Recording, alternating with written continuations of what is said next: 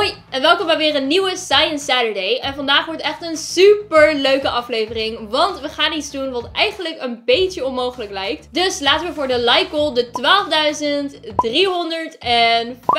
12.345 proberen te halen. Ik vind dat een heel erg leuk getal, dus ben benieuwd of dat ons gaat lukken. En vergeet je natuurlijk ook niet te abonneren op mijn kanaal. Het enige wat je hoeft te doen is op de abonneerknop te drukken. Het is super makkelijk en het is natuurlijk ook gratis. En op die manier blijf je op de hoogte van wanneer ik een nieuwe video upload. En als je dat hebt gedaan, blijf dan vooral lekker kijken. En laten we beginnen. Vandaag gaan we een regenboog in een fles maken en daarvoor gebruiken we vloeistof. Verschillende soorten vloeistoffen in verschillende kleuren en die gaan we op elkaar stapelen. Maar ja, hoe kan dat nou precies? Nou, daarvoor heb ik een voorbeeldje. Ik heb hier voor me namelijk twee glazen, één glas met water en eentje met cola. En ik ga zo meteen het cola hier in het glas gieten, maar ik wil eerst van jullie weten wat je denkt dat er gaat gebeuren. Denk je dat de cola en het water met elkaar zullen mengen of denk je dat de cola zich op het water zal stapelen? Ik ben heel erg benieuwd of je het antwoord weet. Absoluut niet vals spelen natuurlijk. Dus zet de video nu eventjes op pauze. Laat me je antwoord weten in de reacties onder deze video. En als je dat hebt gedaan, gaan we nu lekker verder met ons experiment. En dan zullen we zien of je gelijk hebt. Here we go. Nee! Nee!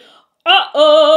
Nou, zoals je kunt zien is het cola volledig met het water gemengd. Het is niet op elkaar gestapeld. Dit is dus niet de manier om vloeistof op elkaar te stapelen. Nou, de vraag is nu dan natuurlijk, hoe kan het dan wel? De reden dat het hier niet is gebeurd, is omdat cola van water is gemaakt. Dus we mengen eigenlijk gewoon water met water. En water heeft een bepaalde dichtheid. Alle vloeistoffen hebben een bepaalde dichtheid. En de ene is hoger dan de andere. En als je twee vloeistoffen op elkaar stapelt, die allebei een verschillende soorten dichtheid hebben, dan lukt het wel, want dan zullen ze niet met elkaar gaan mengen. Dus dat gaan we doen in deze video. We gaan verschillende soorten vloeistoffen op elkaar stapelen, die allemaal een verschillende dichtheid hebben. Nu dat we dat weten, laten we onze vloeistofregenboog in een fles maken. Dit zijn de dingen die je hiervoor nodig hebt. En als allereerste heb ik hier donkere corn syrup. Het is letterlijk vertaald maissiroop. Ik denk niet dat je het in Nederland kunt krijgen, dus mocht je dat niet kunnen vinden, is het ook geen probleem. Dan laat je dit gewoon weg en dan ga je met de andere ingrediënten aan de slag. Dan heb je ook afwasmiddel nodig, wat water,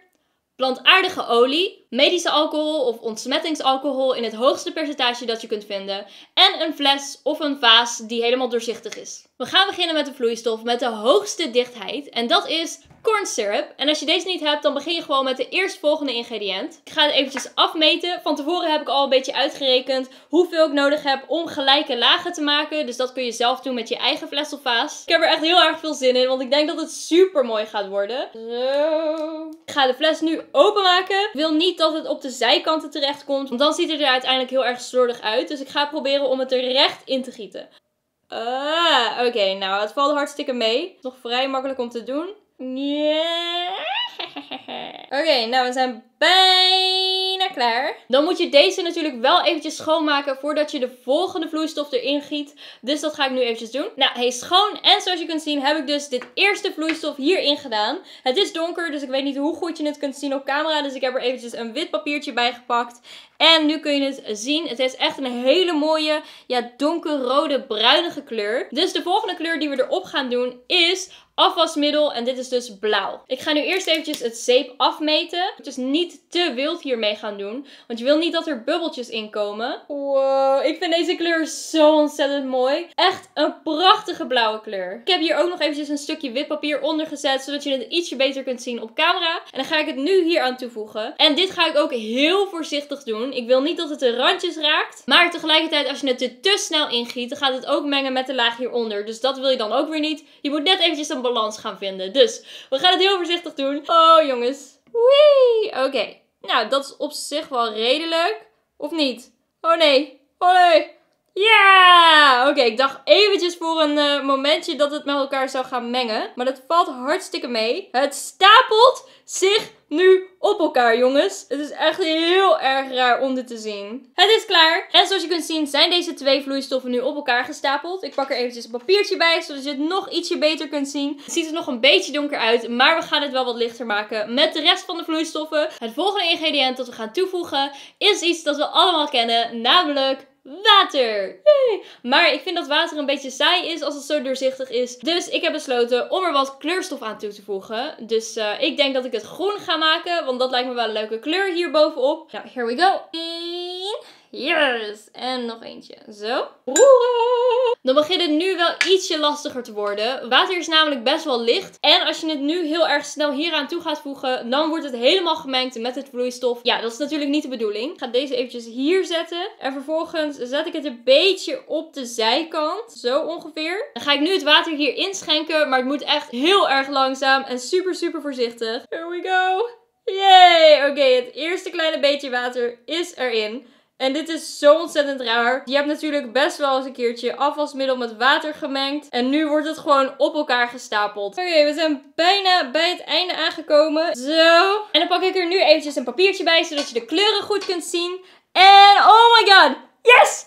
Het is gelukt, jongens. Wauw, het ziet er zo ontzettend gaaf uit. Het ziet er al best wel uit als een regenboog. Maar ja, we moeten er nog twee laagjes aan toevoegen. Dus laten we dat snel gaan doen. Het volgende ingrediënt dat we hierop gaan stapelen is plantaardige olie. En dit heeft echt een hele mooie gele kleur. Zo. En dan gaan we gewoon weer dezelfde techniek gebruiken. Net zoals bij het water. En het wordt nu super spannend. Want als het nu fout gaat, is het echt niet leuk.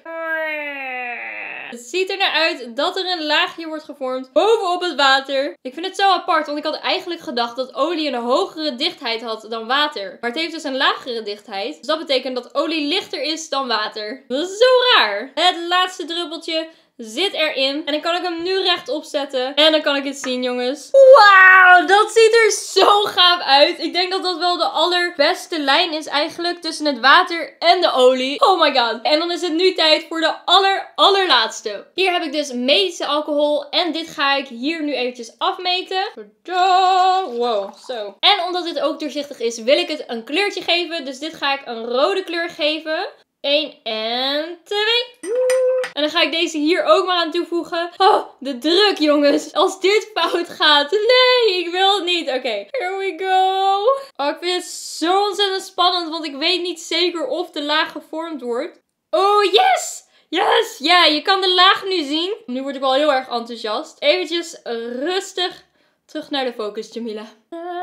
Focus. Yes! Het is me gelukt! Oh my god, ik ben zo ontzettend blij. Dan pak ik er een wit A4'tje bij, zodat jullie het kunnen zien. En wow! Wow, ik vind het zo ontzettend gaaf geworden, jongens. En wat ik ga doen, is ik ga er nu eventjes een dopje op zetten. En hier ook nog eventjes een lamp bij pakken. En dan zie je het met het licht van achteren. En ik denk dat het er echt super gaaf uit zal zien. En er was licht. Dus ik ga het nu eventjes hiervoor houden. Tadaa! Ik vind het zelf echt heel erg mooi en tof. En de lagen, oh, ze lijken echt op een regenboog. En kijk, ze kunnen ook een beetje bewegen. Natuurlijk moet je er niet mee gaan schudden. Maar dit ziet er echt zo cool uit. Dan ga ik nu iets doen waar jullie waarschijnlijk allemaal heel erg nieuwsgierig naar zijn. Ik ga deze fles namelijk omdraaien. Ik ben benieuwd wat er dan gaat gebeuren. Ik ga het niet al te snel doen.